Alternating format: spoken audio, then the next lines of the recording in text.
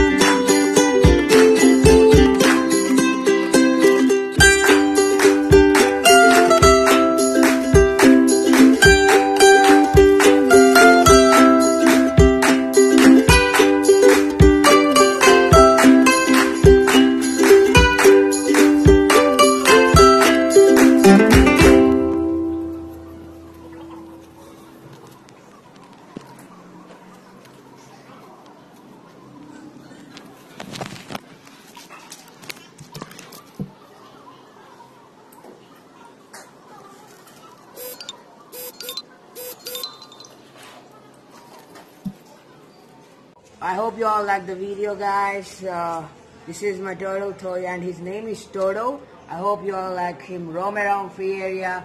And if you want more clips of him, more near looks, you can just have a look guys. He's actually in radius side. I just clean him up because he went into the soil and stuff. See, you know why they're called red-eared sliders? Because they have these red ears. See how aggressive he is? See? But he's a good guy. I can do like this. Nothing happens. See? See how his mouth is open? Yeah, that's see. He's seeing you guys. He's pretty good. Yeah, he's actually pretty good. So he doesn't say anything. So I hope you all like the video, guys. Like, share, subscribe, and get some more time. You want to get it back into his enclosure. So see you soon tomorrow again. Subscribe to Sri Vlogs.